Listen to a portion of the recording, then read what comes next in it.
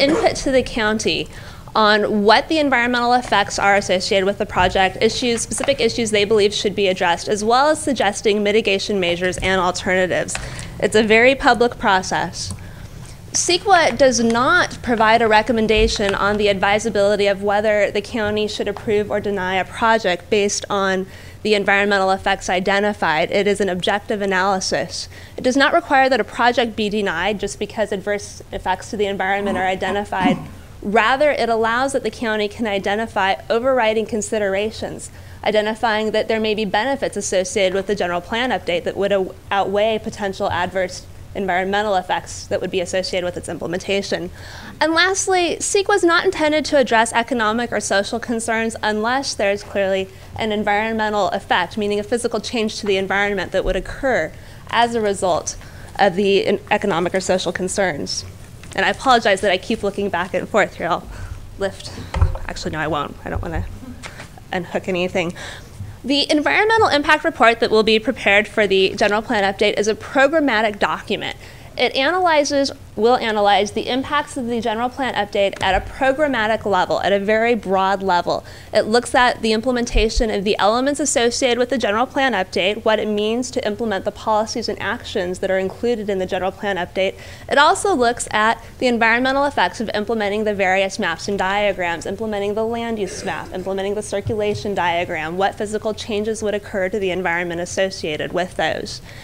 As I said, it discusses broad environmental issues and it affects a large geographic area of the unincorporated county. The program EIR will minimize the environmental processing of future environmental documents. It identifies programmatic mitigation measures that can be applied at the policy level. So it will make it easy when the county is reviewing future applications that are consistent with the general plan to identify whether or not those are broadly addressed in the general plan EIR. It provides the cumulative analysis for projects that are consistent with the general plan, and it also addresses alternatives to the proposed land use map, so it helps you look at some of the options and land use changes that could reduce environmental impacts, which is helpful when you're looking at future project requests. The mitigation measures included in the general plan EIR are first well, let me backtrack just a little bit. The general plan team and the EIR team work together. So as they're drafting general plan policies and as they were meeting with the steering committee, we paid attention to what was going on, made suggestions regarding the policies and actions, and then as those are being turned into the, gen- the draft general plan, we look at those and determine where there are gaps, where there are environmental impacts that are not being addressed by policies and actions included in the general plan.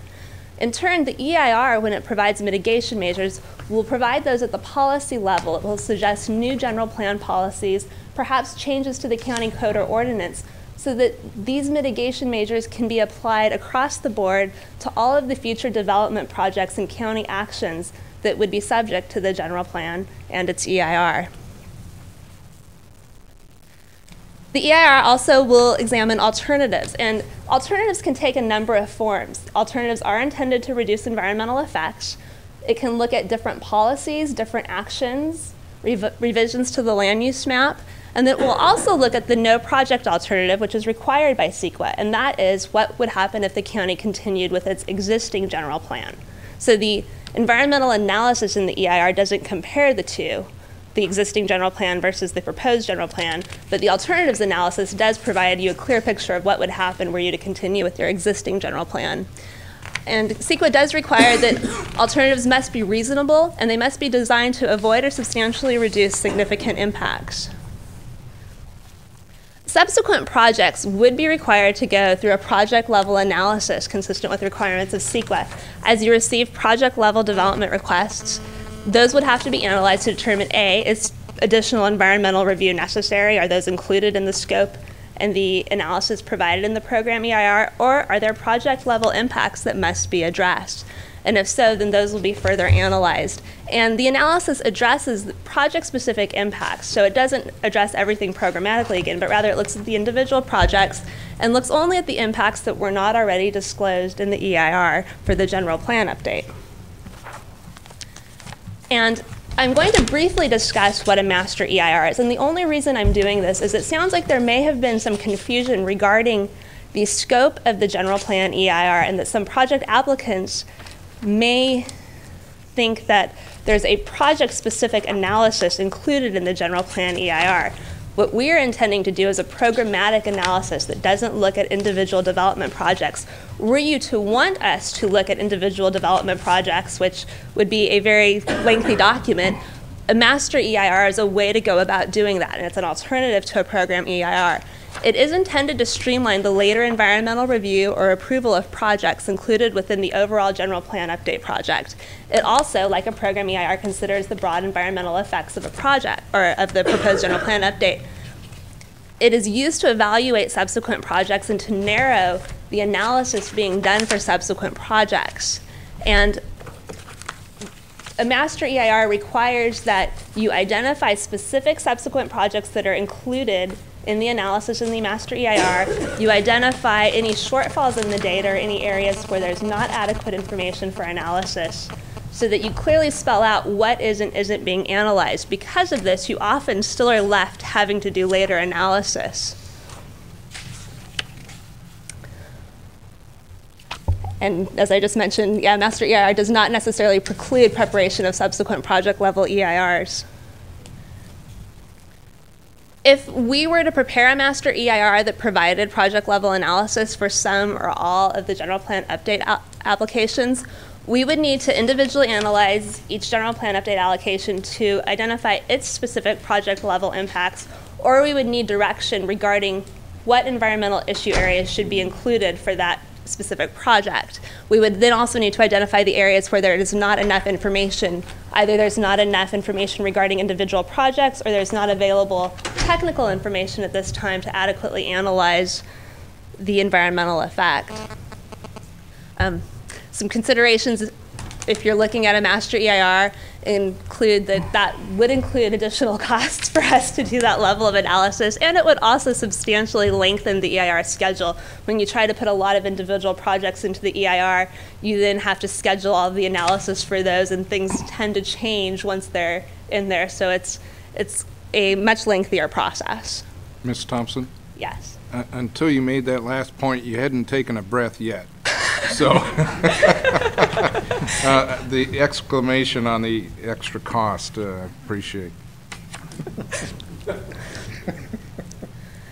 the advantages of a program EIR are that there is not a legislated shelf life for a program EIR. CEQA requires that an MEIR after five years be reviewed to ensure that it is still adequate and up to date, whereas there are no such requirements for a program EIR. Also, a program EIR can be used to address a variety of actions considered under the general plan update. It, it can programmatically look at projects that are considered part of the general plan update, whereas a master EIR is limited because you are required to specifically identify the projects that are considered within it. So there's not a lot of flexibility in determining whether or not a project was considered. A program EIR can be prepared more quickly than an MEIR and also at a much lower cost. Now I'll move from the topic of the type of EIR to how we're addressing the general plan update applications. And there are some that are recommended for inclusion in both the general plan update and EIR, some for the EIR only. And then there are the staff's recommendations regarding the six applications that were referred back to staff, and then also the four requests for reconsideration. Back in January, you, the board, provided initial direction to staff and to us how to handle the general plan update applications that have been received during the past several years. The first group of applications were applications that were recommended for the general plan update and draft EIR.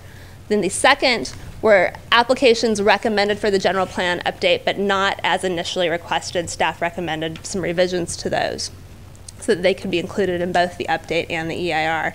The third group is applications that were recommended for environmental analysis only. And the fourth was applications that were not recommended for